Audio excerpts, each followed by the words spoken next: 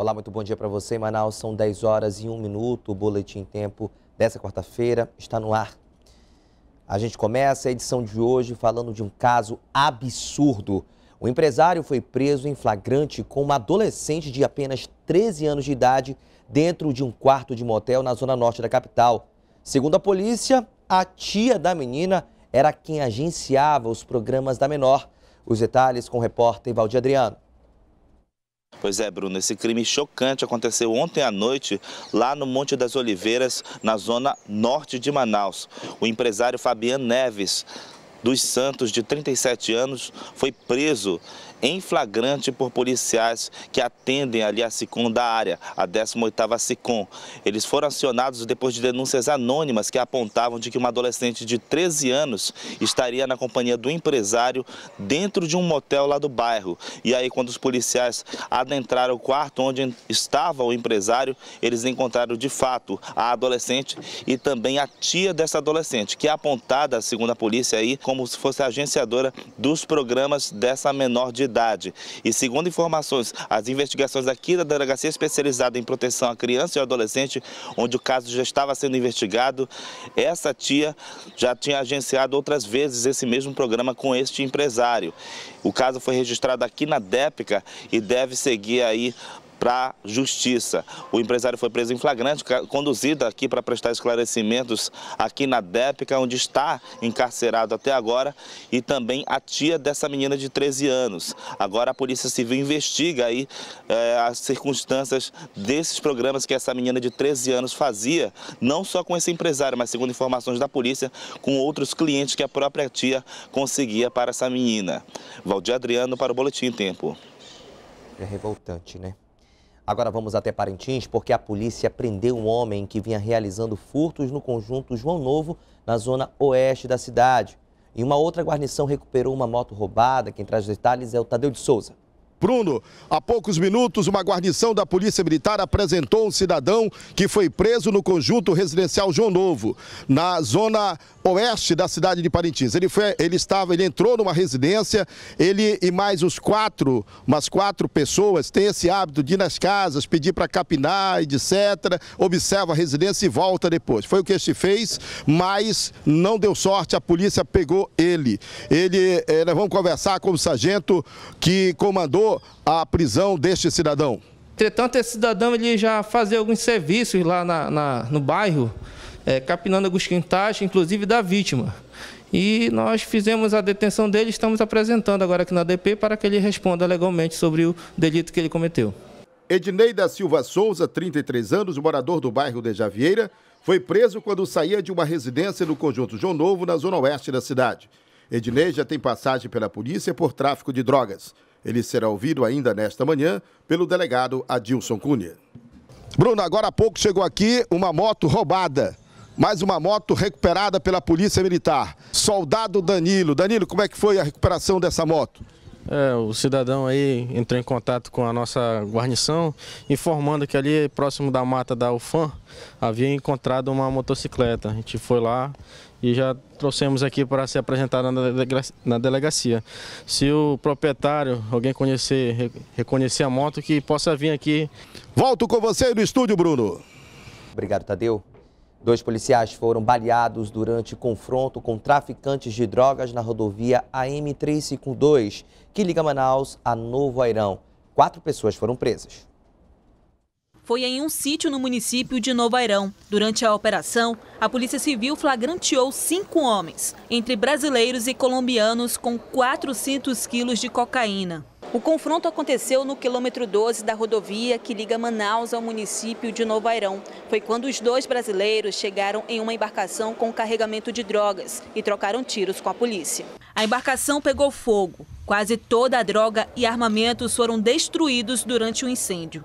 Nesse momento do tiroteio, a lancha dele veio a explodir, porque tinha, tinha granada, tinha bastante munição na lancha e gasolina também. Quatro suspeitos foram presos, dois são colombianos. O quinto homem conseguiu fugir pela mata. Na ação, dois policiais ficaram feridos. O que nós conseguimos levantar no momento foi o armamento que estava sendo utilizado, um fuzil M16 de origem militar e um FAL 762 usado pelas Forças Armadas, um calibre, são calibres de guerra, calibres extremamente perigosos. Os suspeitos vão ser encaminhados à delegacia do município de Manacapuru.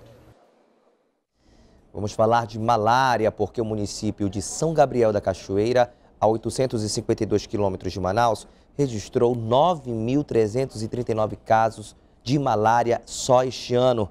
A cidade é a que mais registra casos da doença em todo o Brasil. Os números apresentam um número percentual de 66,7% em relação ao mesmo período do ano passado.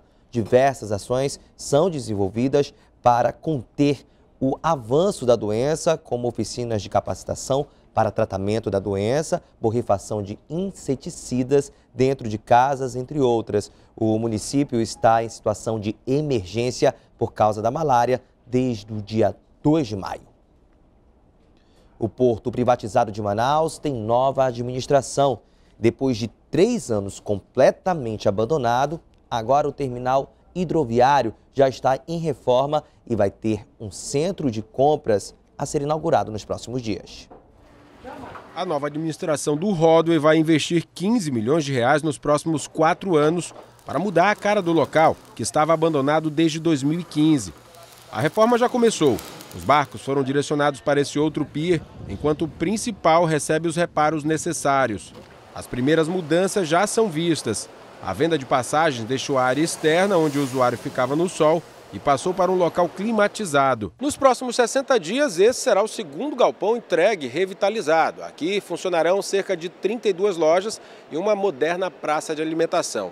Tudo para receber visitantes, passageiros e todas as pessoas que quiserem conhecer esse ponto turístico da nossa cidade.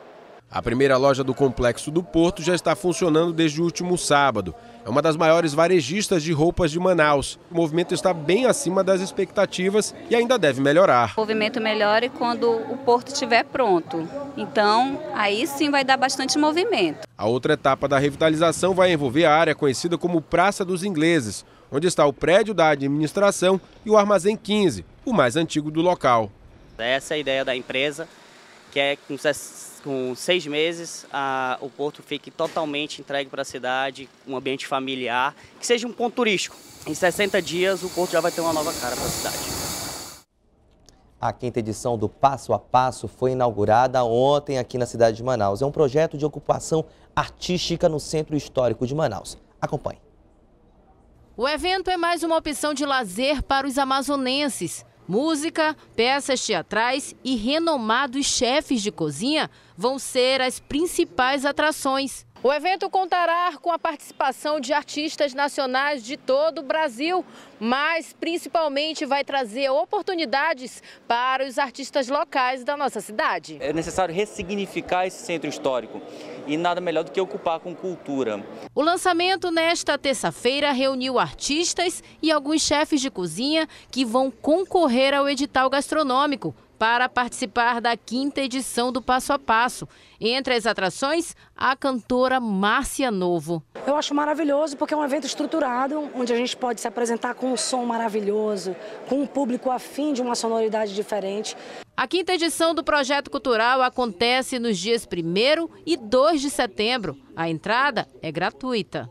O passo a passo deveria virar uma lei, uma lei para nós para nós sabemos que qualquer que seja o prefeito que venha depois, ele vai dar continuidade a essa obra, que é uma obra que nasce no coração, do coração dos artistas, passa pela sensibilidade. Vai ser bem bacana, hein? Às 10h50 é hora do programa Agora, com ela, Márcia das Máquinas, está no estúdio do programa. Bom dia, Márcia, tudo bem por aí? Quais são os destaques de hoje? Bom dia, Bruno, tudo ótimo por aqui. Um ótimo dia para todo mundo que está acompanhando aqui o nosso boletim em tempo de hoje.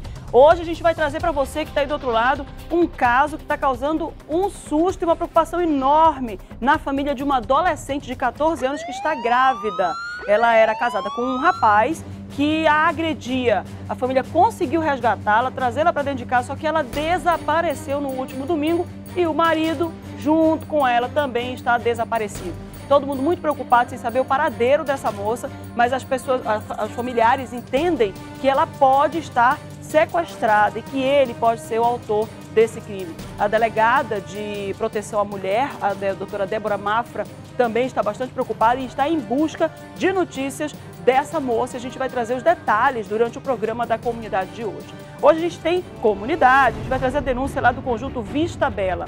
Os moradores estão reclamando de infraestrutura. É destaque de comunidade que a gente vai trazer para você que tem do outro lado. E eles reclamam também da quadra de esportes do conjunto, que está servindo, infelizmente, por falta de manutenção para abrigo de usuários de entorpecentes. Olha só que situação que a gente vê, uma quadra que era para servir de lazer, né, desporto, para poder trazer é, para os adolescentes da área uma ocupação, desenvolvimento do esporte, e infelizmente eles não estão conseguindo.